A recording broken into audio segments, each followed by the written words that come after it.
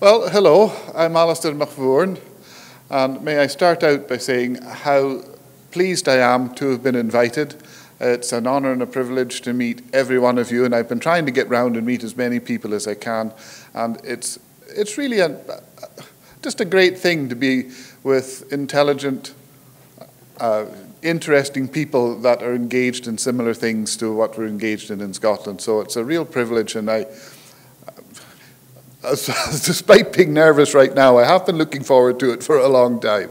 So thank you very much, and particularly to the Indigenous Language Institute and its personification here Inye for looking after uh, myself and on behalf of Finlay so well over the last few days. It's been uh, wonderful, so thank you very, very much.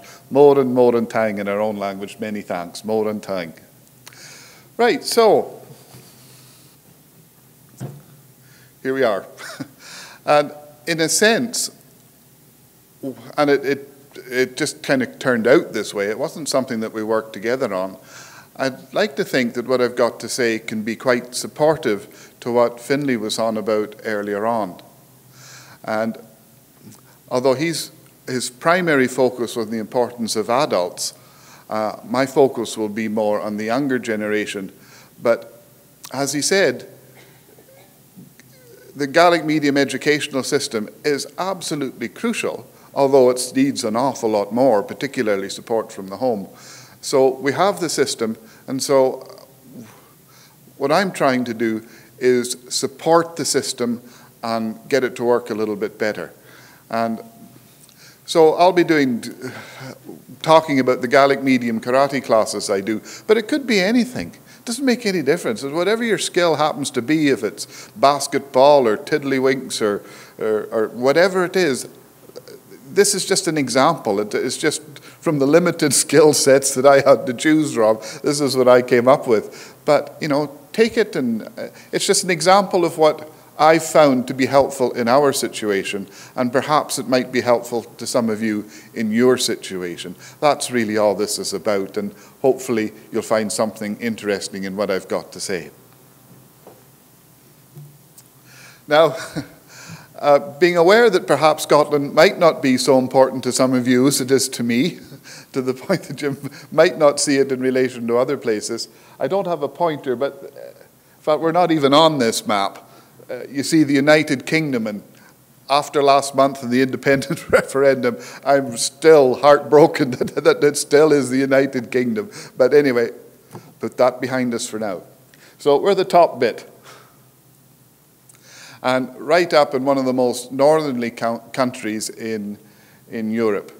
You know, as you can see, uh, in fact, it's the way the map is sort of set. If uh, reality had tilted a wee bit, and we're farther north really than, uh, uh, towards Iceland, and Iceland should be brought down just a wee bit. So, uh, fortunately, because of the Gulf Stream, we have a very mild climate. It's sort of in the winter we don't get very, very cold. In the summer we don't get very, very hot. So, it kind of hovers a bit miserable quite often, but, but there are nice days as well.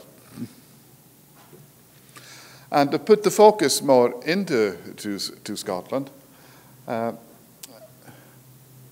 if you see the M in the Moray, well, the N more or less in Highlands, that's not particularly far from where I stay, probably about 10 miles or so.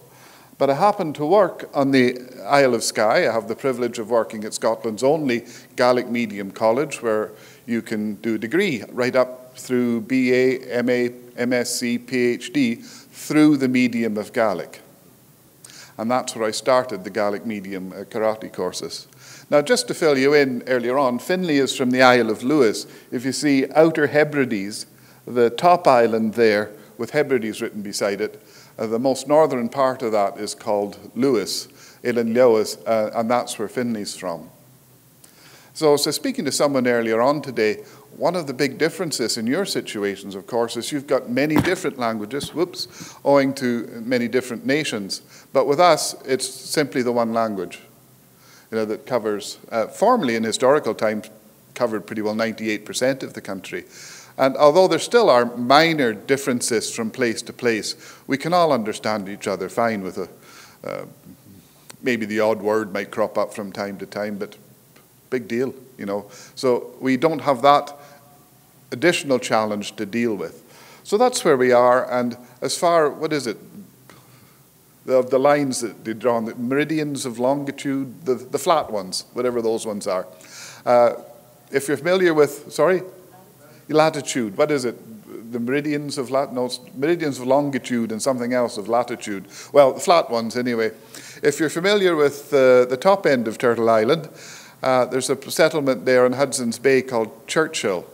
And my house is almost on that same line as Churchill, which is the polar bear capital of North America, so I'm told. But it's not like that with us. so that, that's where we are. Now, with regard to Gaelic in Scotland, some numbers that Finlay had referred to earlier on. In our last census, you can see there was about 58,000, a tremendous drop from even 60 years ago, but the turn of the century, let's say, that's 100 years ago. Uh, no, it wasn't. It's only 14 years ago, 114 years ago, forgetting which century I'm in. And as Finlay was saying earlier on, Gaelic survived extremely well despite not being in the school system. So it's an interesting sort of turn of events that now, where it is in the school system, we really see it disappearing at the community level.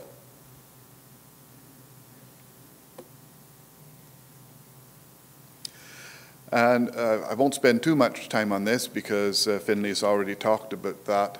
And he's a little too modest to say, but really the work he did with CNSA, Comhairle nan Sgoiltean Àraich, is absolutely fundamental to modern Gaelic development.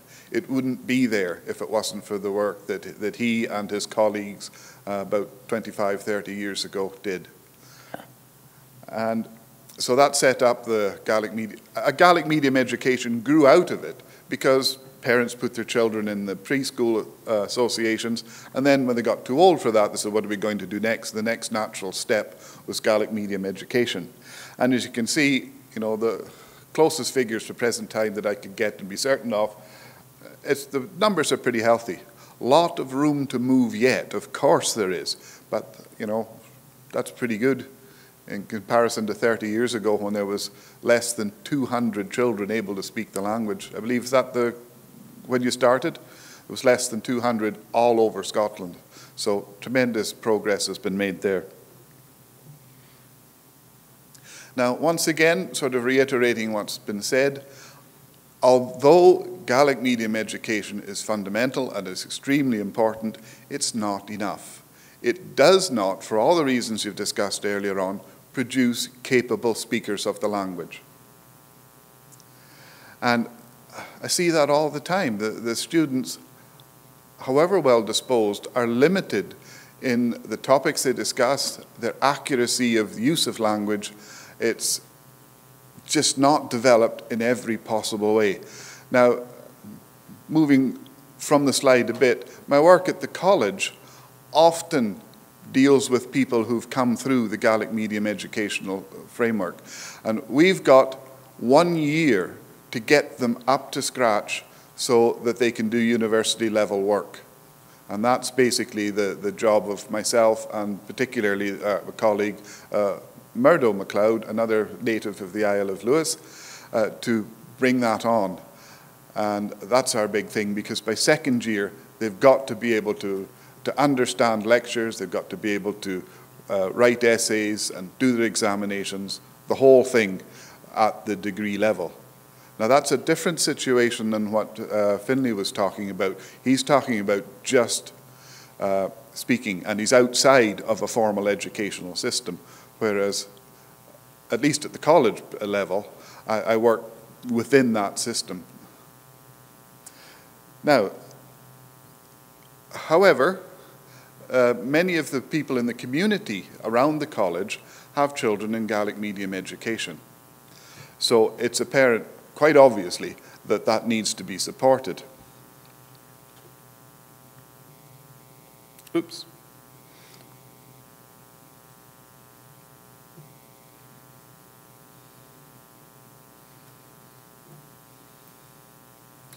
Now, one thing that's been a bit of a hobby horse for quite a while myself is that the curriculum used in Gaelic medium education is the usual English language one.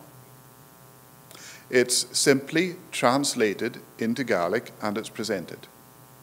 So, although the children are learning words and phrases and the rudiments of language, they're not learning to see the world in any way differently than our the English language students. And I think that is a, a major mistake in the system. Now, I spoke to the head of Gaelic language education in the government when it all started back in 1985. And the parents at the time wanted to have it that way because it was such a new and difficult step for them to make. My word, they're putting the, the education of their children on the line here. And so they were afraid to take too big a step. The one for language alone was enough for them. But heavens, we've moved on from that now, and I think people are ready to design a culturally responsible curriculum, whatever that form might be. And one of these things has to be some kind of a, an assessment, an idea of what cultural values to the Gaelic speaking population might be. I know certainly some of the, the nations here on Turtle Island have been pretty clear about that, but we haven't been. And we haven't even any kind of a debate to even look at it. So that's a, a major step that I would like to see happen uh, at home.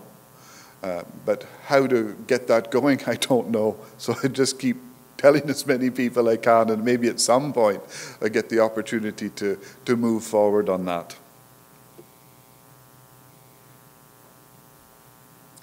So the key to all of this is supporting Gaelic outside of the classroom. And so I wanted to find a way of doing that. And I also wanted to address the idea of cultural values, whatever the consensus for what those cultural values may turn out to be. And so, as I said earlier, drawing from a rather limited skill set of things I could do, I thought, well, what can I do?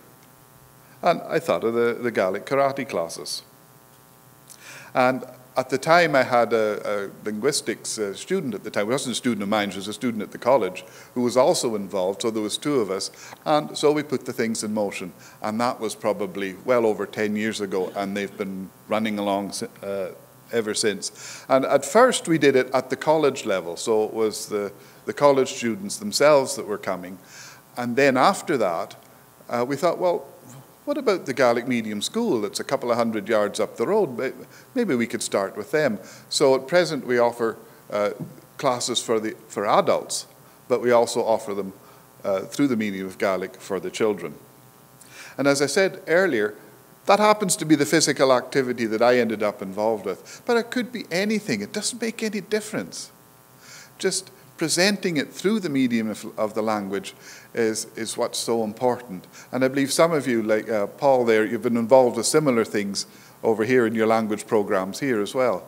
And, you know, it's just such a wonderful thing to do. So simple. And you can involve adult speakers of the language who perhaps maybe don't have uh, liter- uh, skills of reading and writing, well, as most people in the Highlands don't have so it doesn't make any difference. And often those very people are the people who have such a wealth of language and idiom and expression, and also people who are steeped in the cultural values as well. So it's, it's a wonderful way of moving things forward. Now, just a wee bit of background of myself, if I can be excused, because it, it just sort of came together in this whole thing. And I kind of have two jobs. One is uh, teaching the language, and the other is as a practitioner of traditional Chinese medicine, which I came through through the martial arts, by the way. That's how I got introduced to that. And for the longest time, I almost had the feeling that I was moving in two directions. And then slowly, it dawned on me that actually I wasn't. It was really the same thing, just from different angles. And my Anishinaabe friends in Canada understood when I was talking to them about this right away. but as 100% Zhaaganaash here, was sort of culturally incapable of reaching that conclusion at first. But eventually I got there. And the way I like to think of it is two overlapping circles. The bigger one, dealing with language and culture, and the smaller one, dealing on individual healing at a personal level. Because I look at the language loss and cultural loss as a kind of a, an imbalance. And in Chinese medicine, and perhaps uh, your own, I don't know much about these things, its imbalance is the source of problems. So you're trying to get things put on the proper track, in balance, and working together. And you can do that on a wide cultural level, or you can do it, and you should do it, on an individual level as well. And so, in a sense, the two things kind of came, kind of came together, although I didn't realize it at first. And in fact, it'd be nice to say that I was a particularly clever person and all these things you're going to hear were all thought up. And I thought, all right, this is the plan ahead. But no, not really. I just sort of went with the flow and, well, to be honest, made it up as I went along because it just seemed to suit the problems that were coming up. So, and also with the martial arts, please allow me to try and escape from the stereotype. You know, you see these big tough guys, you know, on the telly and whatever, walloping each other and all that kind of stuff. Well, to me, that goes on the very top of the idiot list. You know, so many people that I deal with in, in the clinic, they've lost their health or they've got troubles with it. And you see somebody who's big and strong and healthy, they, they, you know, they've been blessed with all of that. And then they've got this wonderful body and they break it deliberately now, that's just absolute stupidity. So I have no part for any of that. You know, use the, the art to balance yourself up, to try and be as healthy as you can, given whatever, you know, the, the Creator's given you as regard to body. But don't wreck it. Make it stronger. Develop your potentials, you know, look ahead, be positive, all of those kinds of things. So one of the very best teachers I ever had said, well, the whole point of it is to be happy and healthy. Because if you got your health, quite often you are quite happy. And if you don't have your health, it can severely affect your happiness. So don't throw it away through stupid things just because you happen to be young and strong for a little while. But it's in the nature of people, especially young fellas, you know, mea culpa uh, in younger days as well uh, to perhaps not regard that advice very well. And you get fed up with hearing about what strength is as well. You know, big, strong guys can do big, strong things. Big deal. What about people who are facing problems and struggle against those problems all the time anyway? To me, that's what strength is all about. You know, and I see many people here who, with respect, are older people, and I'm sure there's problems that come along with that, but you're still there. You're still teaching. You're still doing what you want to do. And to me, that is a far better definition of what strength is all about, rather than just big, strong people going around. Because that'll disappear. You know, once you get older, it'll disappear for us all. Right, so anyway, get off the soapbox.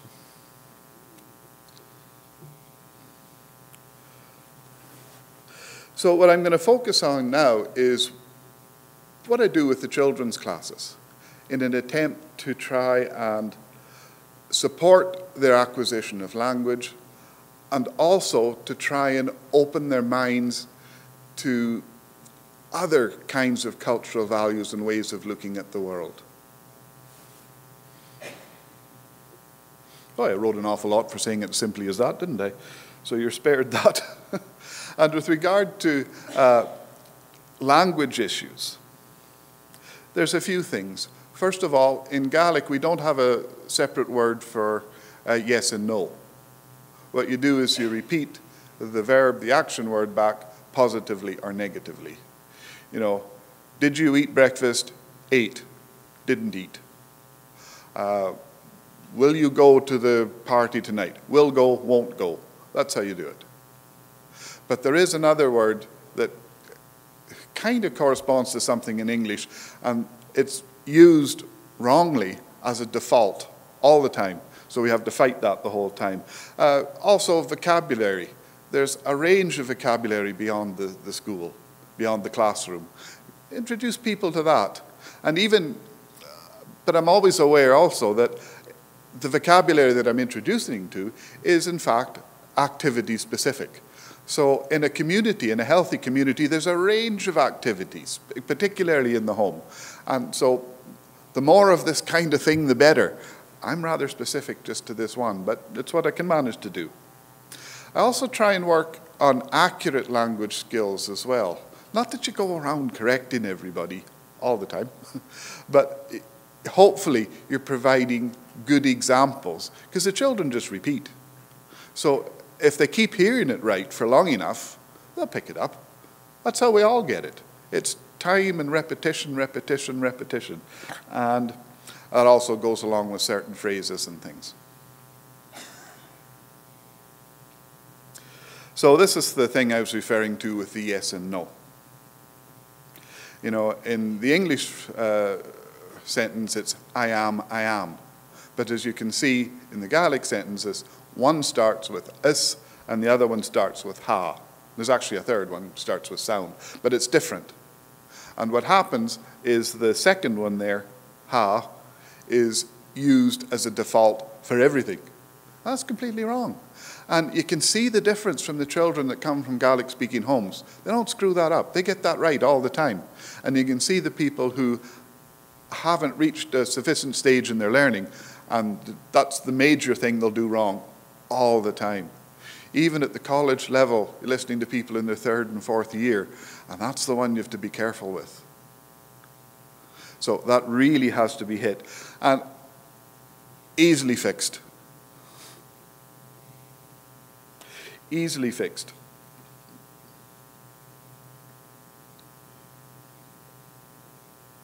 Did I jump a thing here? Okay. And the, the way that it fixes it is uh, playing tag or tig. A little bit more to say about that uh, later on. Uh, well, jump ahead here. Now, I don't know what you say here. You know the game where you touch somebody and then they're it and then they run away and, or, or sorry, they come after you. But in Scotland, it's tig or tip. Is it tag here? Yeah, well, that's it. Because one thing is another thing. Are you it? So that's all S things. They're not ha things. So we play that an awful lot, partly because the kids really enjoy it, gets them all running around and, and having fun. But, and again, it's essential that there is uh, an adult, or at least an accurate speaker of the language there to keep things right, so that they keep using the correct forms. Tu sais, and you tu sais, yes, tu sais, yes, tu sais. It's just all these are used and all this kind of stuff, but with that particular form of verb. And we have to do that all the time. Even if there's uh, over the summer holidays or Easter break or some sort of thing, it flips back to this wrong verb that people use. And so we always, always, always have to go back to that. And after a while, it fixes itself very, very quickly. At the beginning, yeah, it takes a lot of repetition, but then people get it. So it's just, it's essential to have a capable, better adult, because then the children will look up to them a bit, and a capable adult speaker of the language to steer them in the right direction through constant repetition. Not by hitting their fingers with a ruler or something like that, that maybe happened to, to, to some of you and me and all this kind of thing. But no, but to steer it in the right direction. And that is a major accomplishment if you can get the kids using is instead of the other verb ha, and you do it through tig. Now, the other thing that, that came up recently uh, was we had a lot of behavior problems. Now, how are you going to deal with that? And I had the privilege of being in Hawaii a couple of years ago, and, and the Hawaiian schools, maybe some of you know, they gather outside the school and they sing an I'm Ready to Learn song, uh, the, the, the teachers come out and they sing an essentially, I'm ready to teach song. And then when the two are together, right, then everybody goes in. So at the same time, I'm sort of thinking back to the, the college and Skye and a dark February morning, and the, the wind is hot, driving the sleet and the rain horizontally, and you're just slapping you with painful, you know, hailstones and all that kind of stuff, and uh, singing a little welcome song of, you know, I'm ready to learn now, uh, you'd be very unpopular. it wouldn't work. The weather's just not there. But the principle could still be there. So, so to try and address the behavior problems, and also with language hat on, to get yes and no correctly, we, I started start every class with asking them a couple of few questions. And are you ready? And that requires one yes or no, actually, response. And then, will you listen? I, have abbreviated it there, but it's will you, will you listen to your teachers and to your parents, etc. And then hopefully, get, hopefully they'll say yes, but it's a chance for me to give them the proper yes and uh, no, well, preferably yes response so they can get that right. And then, will you try your best to learn? Again, different verb, different yes. So the ones who are strong in the language, generally from a Gaelic speaking home, don't have any trouble with that. But the ones who aren't, you have to prompt them. And little by little, with everything else, repetition, repetition, repetition, then they get it right. So you've, in a sense, not so much taught, but imparted the lesson that and strengthened the idea that yes and no is different from English. So it's a way of pushing that through.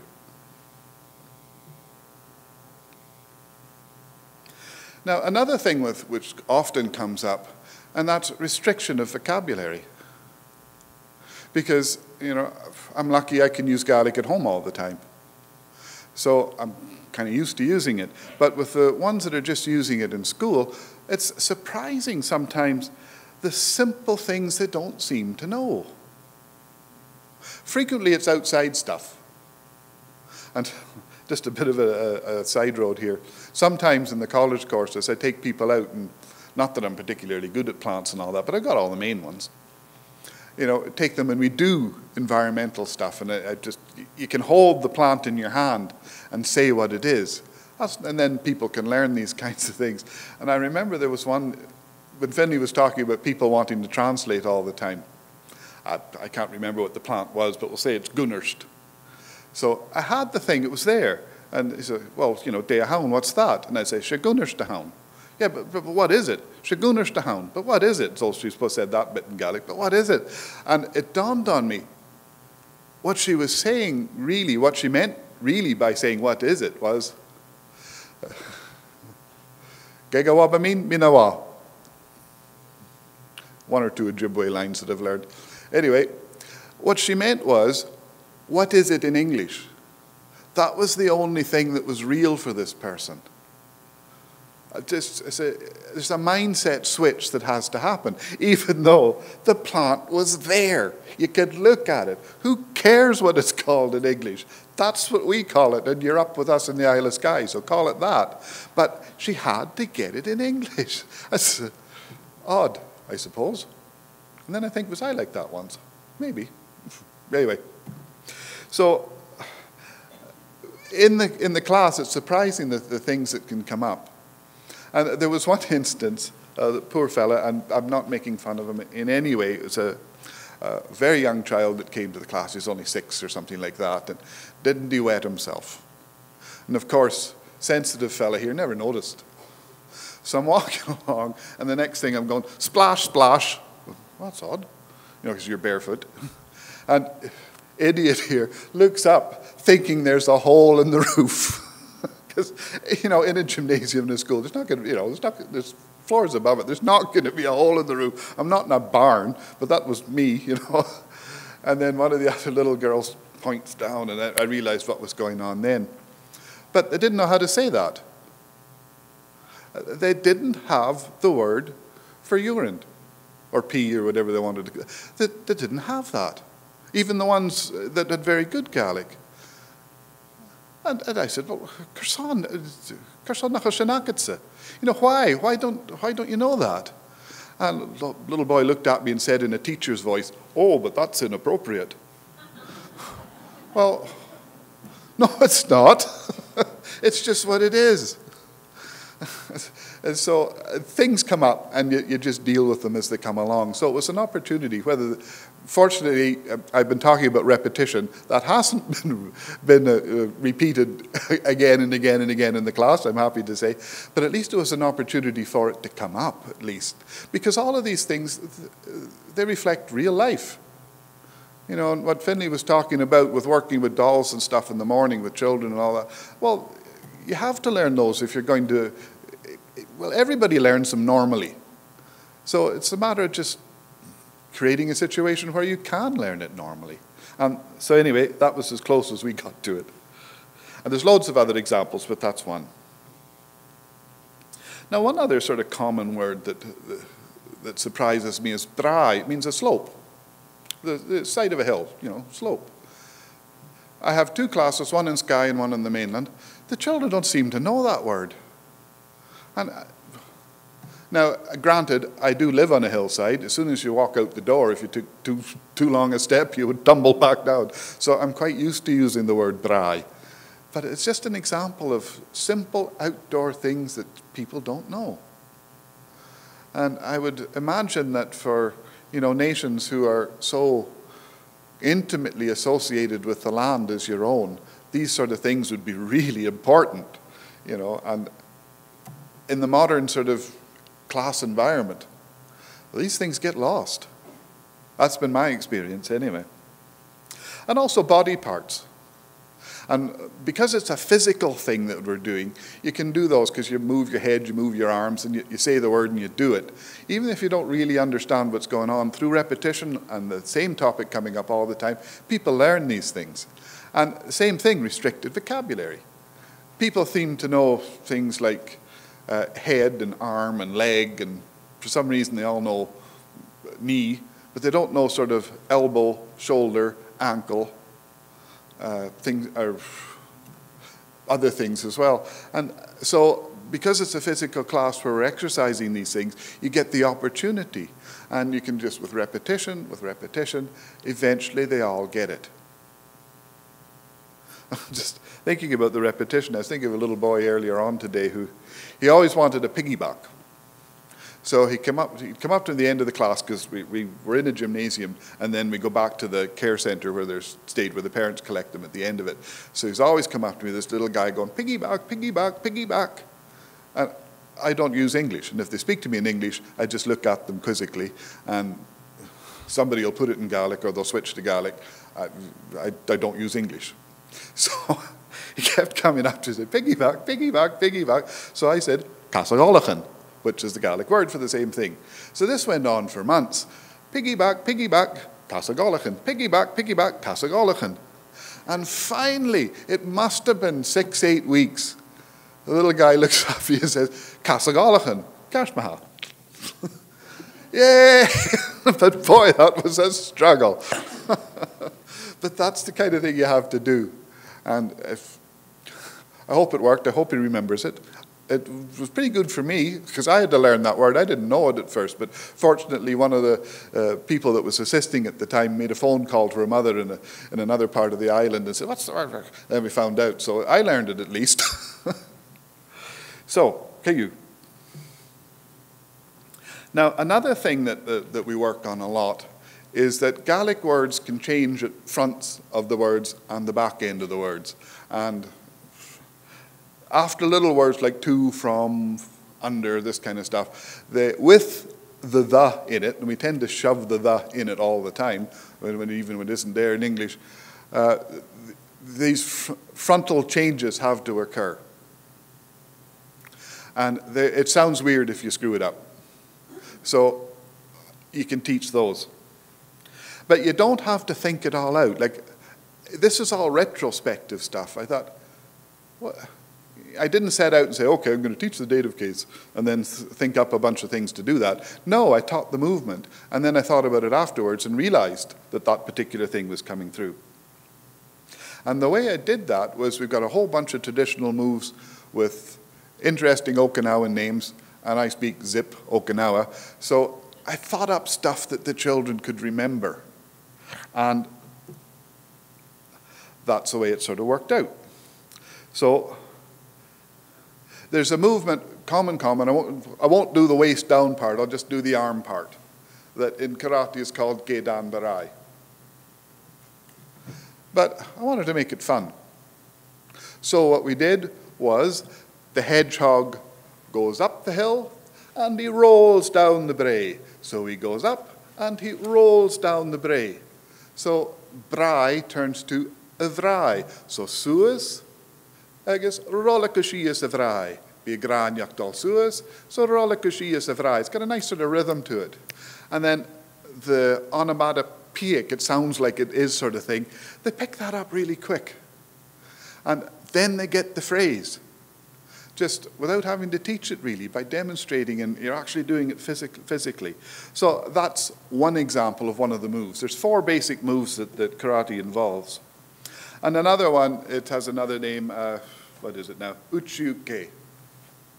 So that's all right. But again, it's a fancy name in Okinawan. Kids aren't going to care about that. so it's more fun to do the rabbit goes into the hole, out of the hole, into the hole, out of the hole, into the hole, out of the hole. Works fine. They have a, lots of fun with that. And you teach that particular form that I've explained in there, but I won't bother with, with you right now, where that's an important one to get right. And just do it. And then there's another one we do with this other one here where you go up and then you come down, up and then you come down. It's got another, again, it's got its fancy Okinawan name, but I thought, well, what are we going to do with this to make it interesting that the children will learn it? And so what we do is the birdie goes up and flies and then goes splat. The birdie flies and then splat. And then you can change it. And uh, we're, we're always in a circle. That's another thing I didn't explain. We always, I don't have any time for this boot camp style sort of thing. So we work in circles because circles with us, as I'm sure with many of you, are part of Gaelic culture. I know of a fisherman who well, he's not a fisherman, his father was a fisherman, he used to always go out with his boat, make a circle sunwise before he headed out. That's how important it can be. So we always work in circles. So we just pick the person's name. So you can say, you know, in, in A is flying, and then splat. Jerry is flying, splat. and they think this is the funniest thing if you can include the name, particularly mine. You know, Alasdair flies and splat, which is exactly what would happen if Alasdair tried to fly. But it makes it fun, and they have loads of things. Uh, they like using their own names and thinking of people going splat. And there's another one at the, at the end, Uchiuke. Again, fancy thing. Now, I couldn't think up anything for that one, so it's just up into the air, and then boing, and they love shouting boing. So you can, so we wove the physical patterns that are absolutely fundamental in karate into little phrases that are fun and the children can pick up really easily. And hopefully, given repetition and time, then being used to that pattern will eventually sort of osmosis like move out into other parts of the language.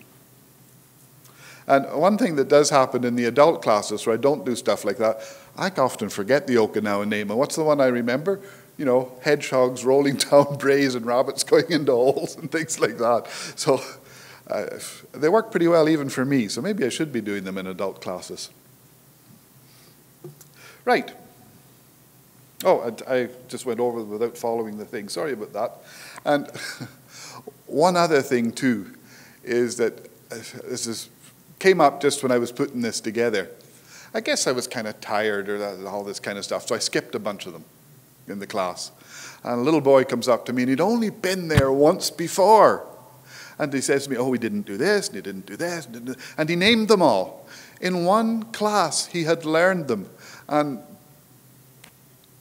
I missed it out. He was disappointed. And so it was a lesson to me. I didn't, just because I was kind of tired and all this kind of stuff, I didn't put myself into the place of those children who had come to the class. And that's what they were looking for. And so uh, that was a lesson for me, you know, just shake it off and do it because they appreciate it, and that's what they're looking for. Oh, and this is another one they get a laugh out of. Uh, the basic punch is sort of aim for the middle, and you know, like that. So, what did we think of for this? Well, we thought one arm's out and the other one's coming for a kiss and then runs away. So he comes out for a kiss and then runs away. And once again, they think this is absolutely hilarious.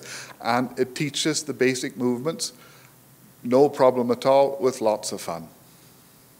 So it's Gian or Park, I guess, Richer Falav. Gian or Park, Richer Falav. And it almost becomes like sort of a mantra, all of these kinds of things. And it was the, the girl that was working with me at the time, the linguist, who would have think, thought of these things, rather than the historian who happened to be, speak Gaelic and ended up, because the only work was around teaching Gaelic rather than history. So she picked up on this, that the children were, were learning the, the thing like a set sound very, very accurately. And also stances are really important as well uh, because it directs, if your feet aren't right, you're going to fall over, put it quite simply. And there's various sort of ways of standing. Uh, so again, how do you get this across in a way that's fun and they can understand in, a, in an instant? And there's one where you're leaning forward, uh, Kenkutsu Dach, but it's the same thing as if you, if you were pushing. So that's what we call it. Uh, So we, we, we think of it as, as they're pushing against each other. Another one, which is called uh, kokutsudachi, you just switch and you, your, your, your weight goes back onto the back leg more than it was in the other one. And it happens to be an efficient, as you'd expect, uh, stance if you were pulling. So we get a rope or a belt or something and put the kids on either end of it, and they pull against each other. And that's how they learned to shift their weight properly. And it's, so we call it the tug of war stance. And I don't have Gaelic for tug of war, so unfortunately I do have to use that term. So anyway, so that's the tug of war stance. Teaches it easy, fun, and in fact, with the older ones that I think a little more about stuff, you can experiment by deliberately not doing the stance right and seeing how far that gets you, which isn't very. And there's another one uh, that everybody will know what, called kibadach, where you're to the side. And so we call it the motorcycle stance. The children thought that one up themselves. You know, the, the usual explanation is horse riding stance, but not all of them have anything to do with horses other than pictures in a book. So, but everybody seems to know what a motorcycle is, so that's what they do with that. Now, with regard to culture, too, going back to what was said earlier on, that the problem with the curriculum is it's the standard English language curriculum with Gaelic stuck on top of it. So, what are you going to do to teach some cultural things? Because if your thinking process is entirely English language thinking processes and all the cultural values that come along with that, you may as well speak English. Why go to the trouble of putting different words on something that's perfectly adequate already? You've got, I think at least, there's got to be something additional to that, and that's where the cultural values, I think, come in. So, however, I don't want to put overemphasize that because the Gaelic medium teachers themselves, although they're working with this English-based curriculum, they're still people. And a lot of their their feelings, their personality, their own culture is going to come across anyway, just by virtue of who they are. So I don't want to paint it sort of black and white. It's, it's, it's no good. It's, it's not like that. But despite the problems with curriculum, there are some things that come through anyway, owing to the, to the teachers themselves, to their great, great credit. Now, we don't have anything, as far as I'm aware anyway, so sophisticated as the seven grandfathers teaching uh, uh, that the Anishinaabe have. But correct me if I'm wrong, but they are related to looking at the world around you a little differently than perhaps modern people do. Well, uh, what's the, what would be a good phrase for that? They have their own cultural way of looking at the world. And I don't think most English language speakers, particularly urban ones, maybe rural ones on a farm would be different, pay a lot of attention to the environment uh, and what's going on around them. So, although we don't have something as sophisticated as the seven grandfathers thing, that doesn't mean that we can't start to look around and see lessons that are around us. So, I started thinking then, you know, many of us, uh, and I'm just talking about the Gaelic speakers, do have a strong collect- connection with the, with the land as well as our language. And in many cases, the sea as well as the land. Like, my own people were landlocked. I don't know anything about the sea. I can recognize it when I see it, but that's about it. But whereas Finlay there used to go fishing with his father all the time because, you know, he had to.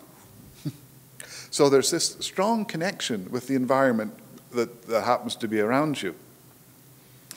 And many of my older neighbors uh, and older relations, many of whom aren't with us now, although they might not have expressed it as having respect for the land, the way they acted, the way they did things, did show a, a deep understanding and respect. Because there's all sorts of things you can do, like different kinds of weeds in your field, you can spray them. But my neighbor said, no, that's going against uh, nature. And the sheep in the area would eat them, so put the sheep in, let the sheep eat them. And then you haven't poured all this poison on the land. So little things like that, and uh, they all added up. And over time, I realized, well, wait a minute, these people are working close to the land. They do have a deep respect for the land in a, in a similar kind of way. So in addition to the things we've been talking about, to try and place the language in a cultural concept, I thought up stuff. and this has to do with people, everybody likes to get an acknowledgement of some sort. So at the end of you know a term or something like that, it's nice to give somebody something, some wee prize, some sort of acknowledgement that they've been working hard and learning and coming forward and all this kind of stuff. And the usual way you do it in the martial arts is belts or sashes or some sort of pat in the head like that. But I don't know. Uh, with the little guys, they're not moving through the usual curriculum. They're just playing games, having fun, and learning things and all this kind of stuff. So I, I never really liked the belt system much for the really young ones because it costs money, and what are you getting out of it anyway? So I thought to myself, well, what about a system of symbols? Symbols that are culturally appropriate to our own culture, and then you can use them to maybe teach a little bit as well. And to start the process of thinking about yourself and the environment, and are there lessons in the environment around us? So, anyway, this is what I've come up with. So, I thought about different animals. I'm feeling a wee bit guilty I left out plants, but oh well, it's not set in stone. and uh, I thought about ones that are frequently come up in stories and songs and poetry. Well, with us, songs and poetry is the same thing anyway. And the common ones are cat, deer, bull, wolf, salmon, and eagles.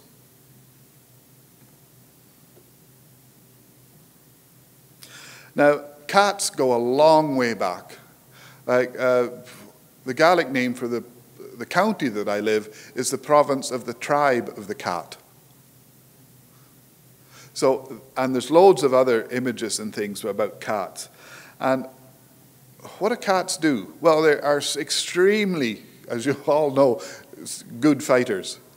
But if you scare a cat, the first thing it does is run away, which is only sensible, especially when you're only six and that big. So, as well as teaching the other things, for the first term, then, we talk about cats. And I ask them what the cats do and what happens if you scare a cat. And they end up coming up with the idea that despite how skillful they are with their claws and all this kind of stuff, they run off. which is the best self-defense thing for anybody. If you can escape, escape. You know, no problems then if you get away. Problem over. So then they think about that, rather than giving some sort of sort of false sense of security because you've learned one or two things and you can kick a pad. So use that as a cat teaching. And then the next one that, and these are completely arbitrary, I'm just trying to get points across and using the, the animals as an example, is deer. Deer are absolutely through all of our songs and poetry and stories and history. And many people still uh, hunt the deer. And they're symbols of loads of things.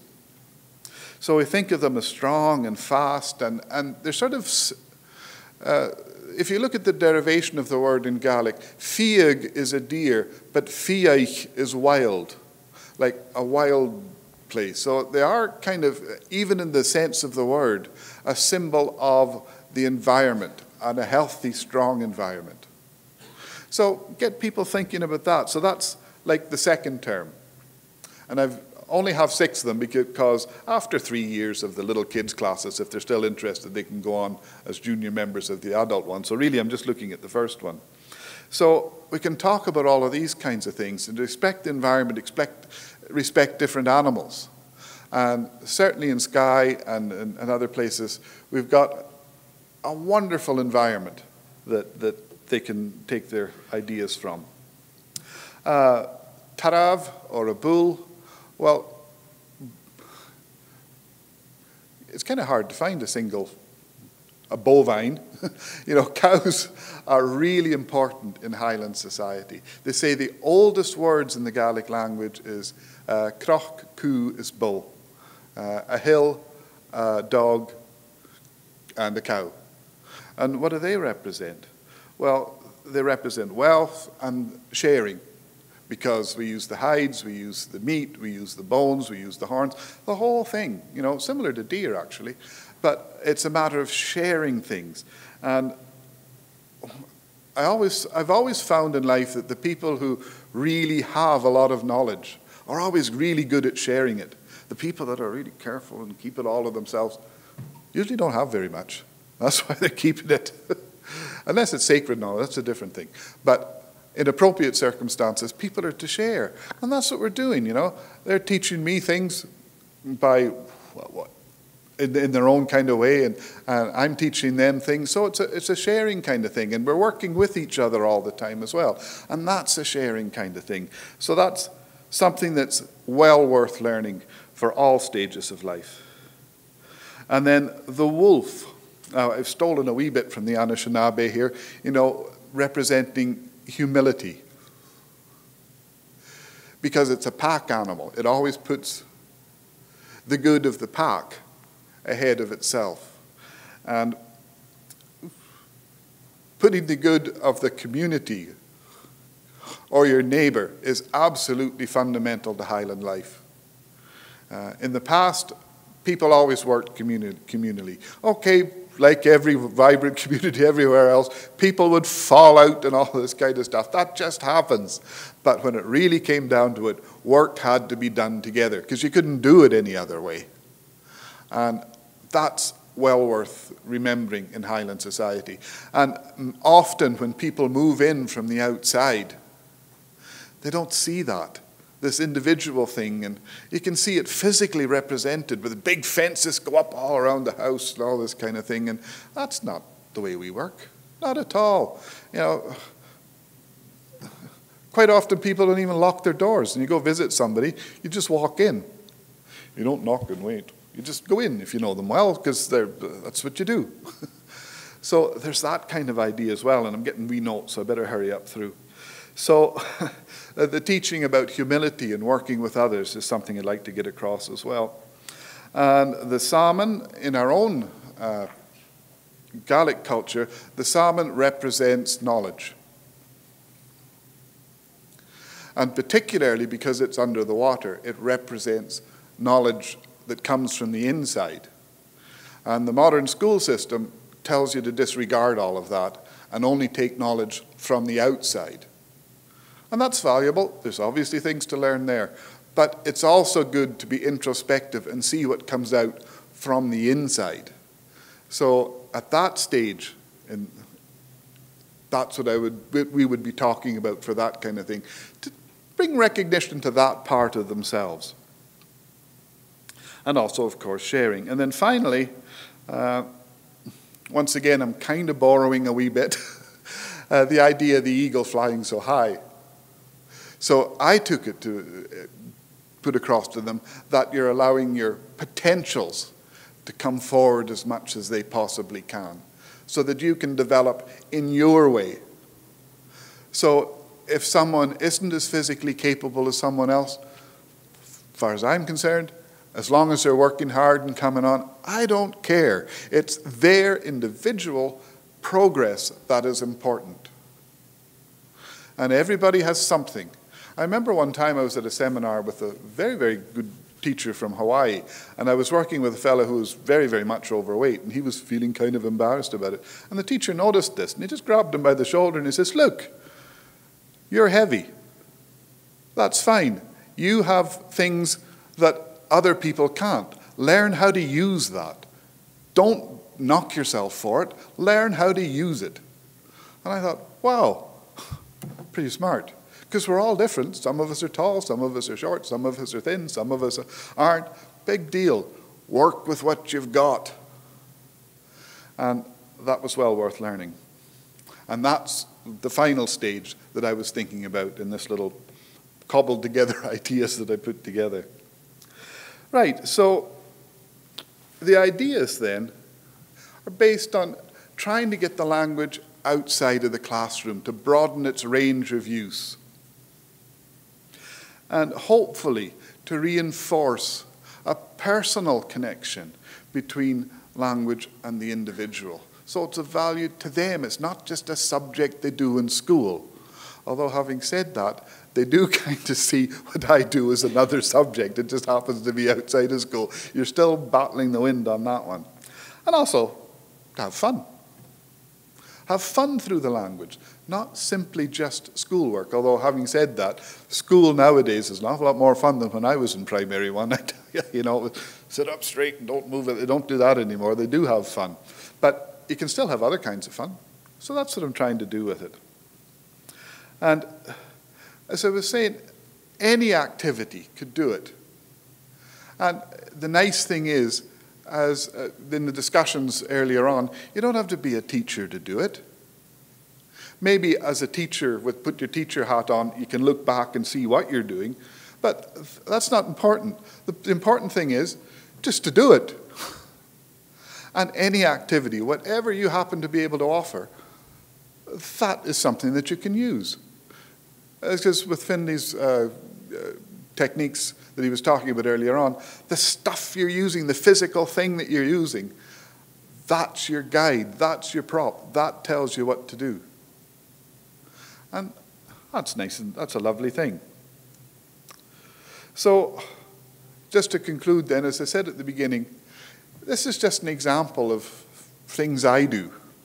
And uh, it's just, just to show that you could probably do anything you liked.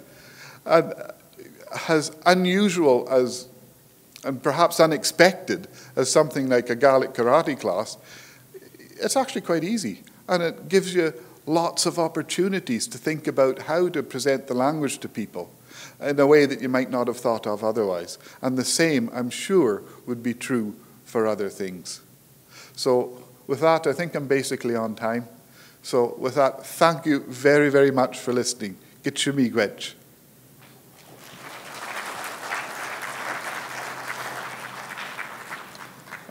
There's some stuff if you're interested. so, any questions?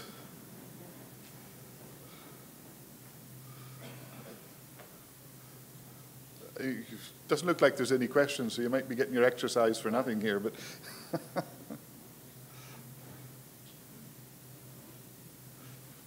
How much time am I completely out of time? Do we have maybe five minutes? Right. Volunteers? okay, one, two. Uh, well, let's get. Um, I like working in circles. Can we get maybe half a dozen, eight people? Blinded by the way. Just around me here.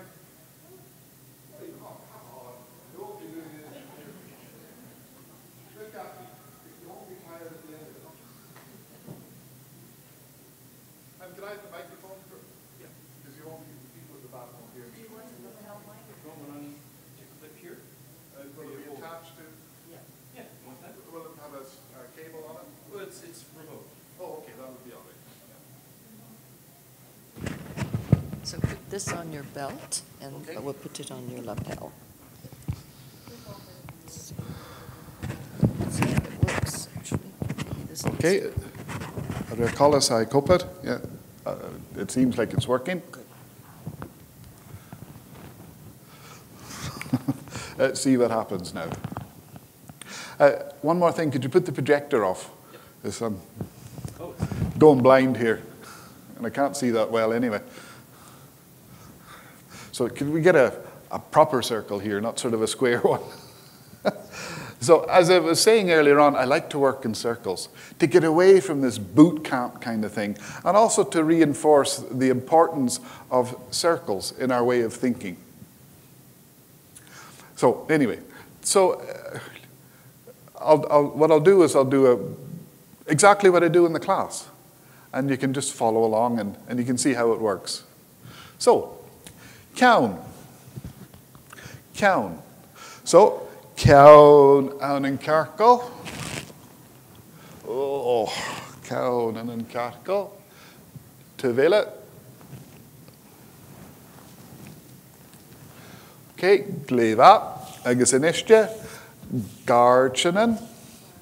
So, garchanan an an carcal.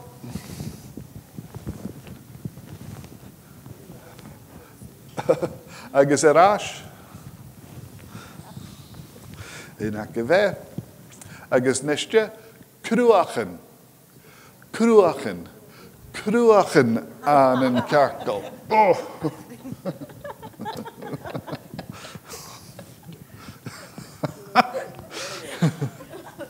agus tuhéile a chuirt. Ok, glúnean an an cearcá agus tu bhéile a chuúrst. Agus mé ar hall öprennen. Öprennen. Oh. Oké, léfa. Yn laf amach. Oké, ha graniac dal suas is rollicushius a vrai. Graniakdal soos is rollercoaster se vraai. OK? Daar soos agus rollercoaster se vraai. Daar soos agus rollercoaster se vraai. Right, daar soos agus rollercoaster se vraai. Kan hè? Cleva. Daar soos agus rollercoaster se vraai. Wow. Daar soos agus rolicú sias a bhrái. A dal suas agus rolicú a bhrái. A dal suas is rolicú sias a bhrái. A dal suas agus rolicú sias a bhrái. Niste. Stiach gan an tawl, machas an tawl. A stiach gan an tawl, a mach as an tawl. Okay? A stiach gan an tawl, a mach as an tawl. Gleifa. A stiach gan an tawl, a mach as an tawl. A stiach gan an tawl, a mach gan an tawl. A stiach gan an tawl, a mach as an tawl. A stiach gan an tawl, a mach as an tawl. A stiach gan an tawl, a m- as an tawl. A stiach gan an tawl, agus a mach as an tawl. Gleifa. Nistja. Okay. An ishak ske agus splat. Ishak ske agus splat. what's your name? Ray.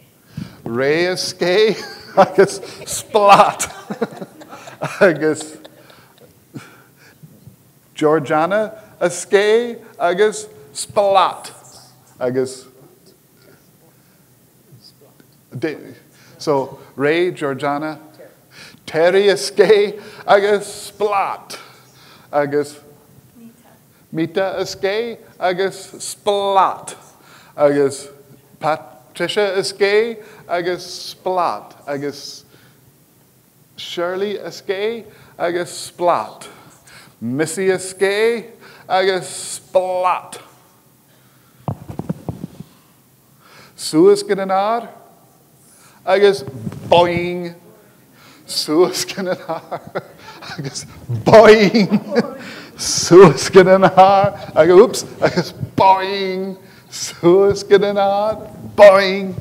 Suaskenanar, I guess boing. Suaskenanar, I guess boing. Suaskenanar, I guess boing. Suaskenanar, I guess boing. Suaskenanar, I guess boing. Suaskenanar, I guess boing. I guess Suaskenanar, I guess boing. I think that's sufficient to show the kind of thing that, that oh, don't run away yet, because look how quickly they picked up how to say things. So you can imagine if you did that for a lot longer, because children, when they're doing fun things like that, they don't get bored as quick as we do. So they like doing it again and again, and every week kind of thing. And look how quick you picked it up there. So it's a handy way of reinforcing patterns. And all of the things we did, by the way, do have self-defense applications, although it might not have looked it there. You know, so you've taught the foundations of things, and taught the well, presented the language, taught the foundations of the thing you're actually trying to teach, and hopefully everybody had a bit of fun. So I think that's probably enough. So thank you very, very much, all of you, for being such willing and able volunteers.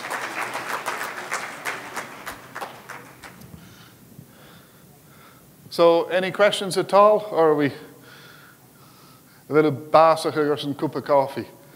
You're dying for a cup of coffee. okay, well, thank you very, very much, and I hope you got something out of that at least. Oh, sorry, there is a question. Uh, yes, uh, in fact, I have a couple of them. Uh, according to my wife, no, but actually, I think I'm all right at it.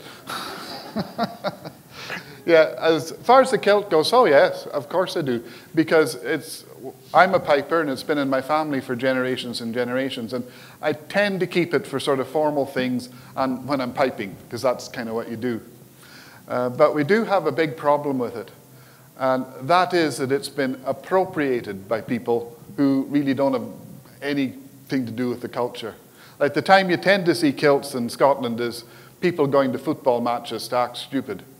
And, you know, I, I'd, bug, I'd put up with it because what can I do? But it bugs me because I think if, if they want to act like clowns, well, put on big floppy shoes and a red nose. Don't dress up in a kilt. But, and also, I'm sure you're wondering, most people do in fact wear something underneath it. because, like myself, for example, I am under no illusions. I'm sure that the wide world does not want to look at my backside. So, for the sake of politeness, I don't go around like that. And it's gen- some people don't. I don't know. But generally speaking, it's people that drink too much and act stupid that go around doing stupid things like that. And I've got no time for that kind of thing. It's a cultural appropriation that bugs me. Is, is that the culture, dance? Is that part of the culture? Oh, dancing is a really big part of the culture, and it's it's intergenerational too. I think it's a grand thing if you get a traditional sort of dance in the community because there'll be people there from babies right up to old people, and if you if you can walk around at all, people dance, and there's no connotations or problems with a, a seven-year-old dancing with a seventy-year-old. It's just what you do. And uh, it's nice too that there's a continuity of knowledge pretty well all over the Highlands. There's a, a handful of sort of ceilidh dances, as they're called, that everybody knows. So I can go to a, a ceilidh in, in the south of, of the Hebrides, like in Barra, or up where Finlay's from in Lewis, and generally they'll do the same kind of dances as I would do at home. So it's really nice, you can fit in really well. You also fight? Yes. Yeah. I've been pretty fortunate to have some pretty good teachers on that. They haven't been so fortunate in their student, however, but I have some very, very good teachers. Yeah. I, I did sort of think about taking the pipes over and everything, but ah, I like to travel light, you know, and also there's ivory on them. Oh, they're 150 years old, you know, it didn't harm any elephants recently. In fact, it's sea ivory anyway. But I was afraid with customs and stuff, there can be problems with that. So overall, I thought it was easier just to leave them where they were. Pardon me? Oh, MacMhaoirn. Oh, sorry, I forgot that. Yes, MacMhaoirn. Yeah, the, the root of the word M-A-O-R refers to some kind of a minor officer of some sort. So, I don't know, uh, I guess we're descended from that. The MacMhaoirn. Yeah, and the, what was it going to, oh, the Mac, by the way, it doesn't necessarily just mean son of. It means a derivative of. Like the Gaelic for a single malt is mach na a derivative of the barley. Uh, so it's, it's, thought to be, it's not quite accurate, it means derived from. And it tends to be a notable person, uh, a religious person, and sometimes it can be a mixture, but those tend to be from, like, like Finlay, McCloich. I'm not sure that there's a clear deriv derivation of the Loich part in your name, but something like McDonald, McGoyle, there is. There's a particular McDonald that those people, the story goes, goes back to. Or McGregor's as well. There's a particular Gregor that they all go back to. That's how that works. Although, traditionally in Gaelic society, we didn't use surnames. You used what was called a sloinneadh, which is, you know, who you're, it could be father or mother, but essentially it was a genealogy, maybe three or four generations back. I remember a fellow in class asked me a couple of weeks ago, he said, well, how come there's no Gaelic for uncle or aunt, other than a complicated thing?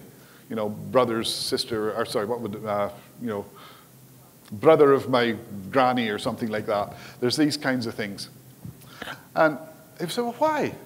And what I answered was, well, rather than say, isn't it odd that we don't have a word for, what does that tell us about the culture? And if you have a sloinneadh, as soon as you name the person, you've so told their genealogy anyway, so you don't need it. And generally speaking, people got their names when they bumped into an institution, which was usually the army or the school. Because there'd be a little fella sitting there with a, with a thing, and you've, you've signed up for the regiment, or got signed up for the regiment, and there's a wee box, and he says, Right, what's your name? And you say, uh, Alistair Hallam Gall Akin Vod. The guy's looking at you, all right, okay, uh, I've got a wee box and a big long name. Where are you from? Uh, I'm from Tain. Oh, you're a Ross. So it's plonked on them. It's not the traditional name.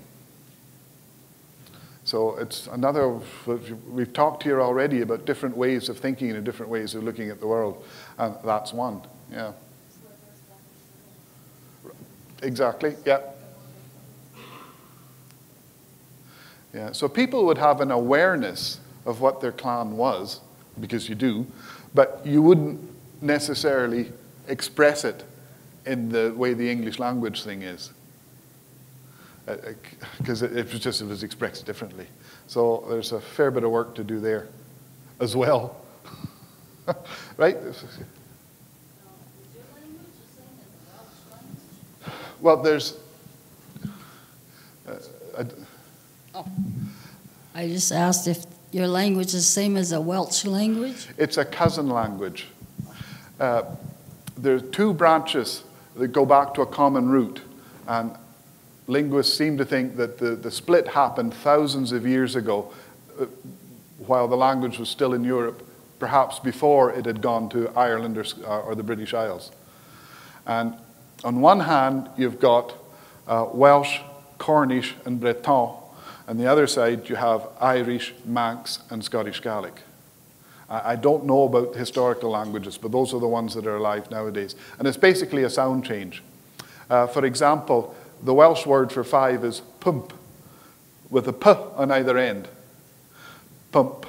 Whereas our word is coik, with a k at either end. So whatever the original sound was, it went to p on one side and it went to k on the other side. And that's basically the difference. I'm told, although I don't know any Welsh, that grammatically, etc., very much alike. It's the sound system. I can't understand a Welshman when I'm speaking to them. But depending on where the person's from in Ireland, I can get on fine. It's Keon Pen. Yeah, Cown. Uh, we have a K. Well, in Welsh, uh, Pen. we've got a Welshman here. What am I talking? about? yeah, well, p, pen. Yeah.